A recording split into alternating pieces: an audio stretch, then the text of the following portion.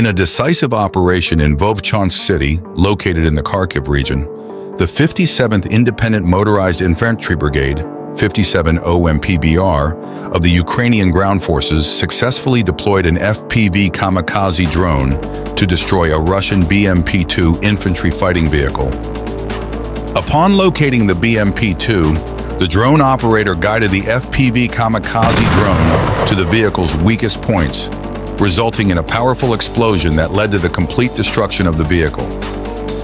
The destruction of the Russian BMP-2 in Vovchansk by the 57th Independent Motorized Infantry Brigade using an FPV kamikaze drone exemplifies the evolving tactics and technological prowess of Ukrainian forces.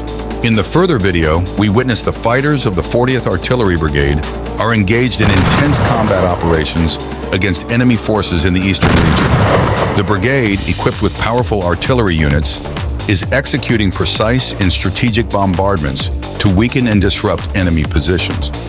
Utilizing advanced targeting systems in a coordinated approach, they aim to dismantle the enemy's defenses and supply lines, thereby creating opportunities for ground forces to advance. The terrain in the east poses significant challenges, with a combination of open fields and rugged landscapes.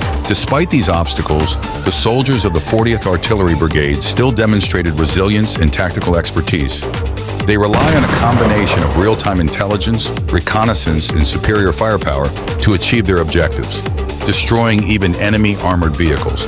The third act of the enemy's insane attack on Ukrainian positions near Ivanovka surpassed all previous ones. Here we have a fearless fighter, a man of great mind, who made himself a place on the armor of a BMP-2 and dangled his legs until a kamikaze drone came flying. After the attack, the vehicle lost control and could not continue moving. The soldiers on the vehicle panicked and ran away to find shelter.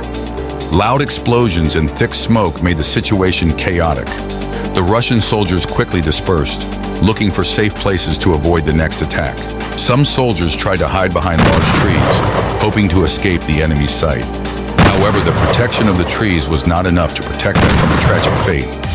The constant barrage of artillery shells attacked them, after the second attack from the drone, the tank was completely destroyed and caught fire. The powerful explosion sent black smoke billowing upward. The fire quickly spread, engulfing the entire tank, turning it into a burning pile of scrap metal. Ukrainian forces do not stop at using drone technology, but also flexibly combine other combat means, from artillery to infantry, to create comprehensive and effective attacks. This combination helps maximize the Army's firepower and combat capabilities, while minimizing losses and risks for soldiers.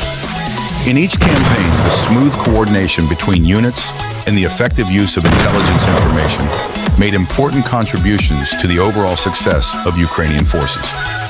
In short, the successes of Ukrainian forces on the battlefield not only reflect technological and tactical progress, but also demonstrate the spirit of resilience and determination to protect the country. Their resilience, creativity, and courage have and continue to create heroic pages of history, making a decisive contribution to this fierce conflict.